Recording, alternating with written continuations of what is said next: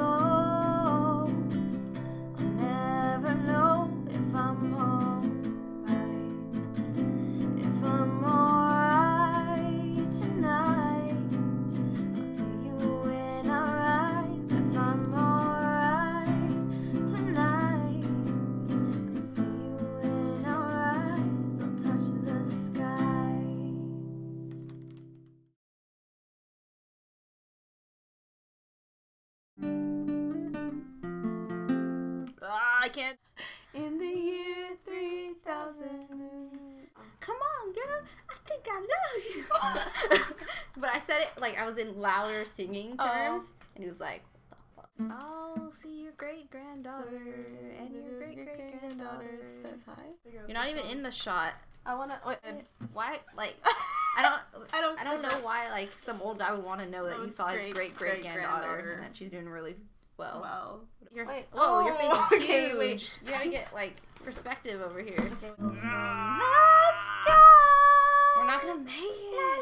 If you don't recycle, the world will turn into a huge water park. California. California under 10 feet of water. Yeah, like Barney. Like out on my own. that'll be like Barney 2050. Make sure you go outside with a life vest. Probably live in a houseboat by now. Messed up. Gotta recycle. Gotta recycle. You gotta recycle. And learn your ABCs, but does it matter? Cause it's global warming that's in this pool amusement park. We call home. And they live underwater. Hey, it's about living underwater. Oh, Oh. they already they're ahead They of it. did- the Joe they did it. They knew about global warming before anybody else They, did. they were aware of the They made year 3000. Oh my god. The sky. We did it. Woo.